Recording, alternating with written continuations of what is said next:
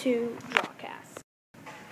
First step you have to take is outline everything as close as you can on the foreground layer using the paintbrush tool.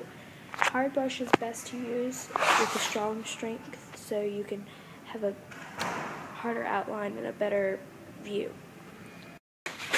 Next thing, and the second step is you switch the midground layer and color in the lines with the paintbrush tool again.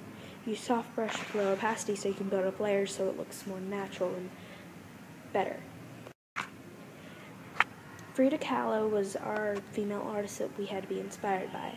She used vivid color palettes and unusual stances and sketches, and she was just a very vibrant person, but she also had a lot of issues.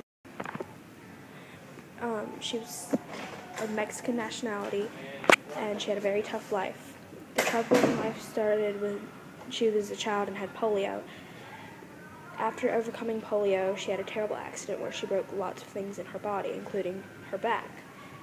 She showed all of these issues through her painting. My three pictures, and thank you for watching.